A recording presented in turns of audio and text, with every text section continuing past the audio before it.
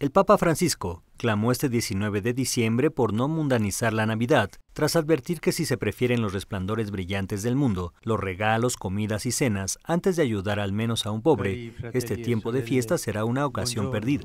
Durante su audiencia pública semanal ante más de 7.000 personas congregadas en el aula Pablo VI del Vaticano, el pontífice lamentó que desgraciadamente muchos se pueden equivocar de fiesta y preferir las acostumbradas cosas de la tierra a las novedades del cielo. Natale è la rivincita dell'umiltà sull'arroganza, della semplicità sull'abbondanza, del silenzio sul bacano. Natale è preferire la voce silenziosa di Dio ai frastuoni del consumismo. Y por eso invitó a todos a tomarse un poco de tiempo en estos días, ir frente al nacimiento, quedarse en silencio y poder así descubrir la sorpresa. Con información de Andrés Beltramo, corresponsal en el Vaticano, Notimex.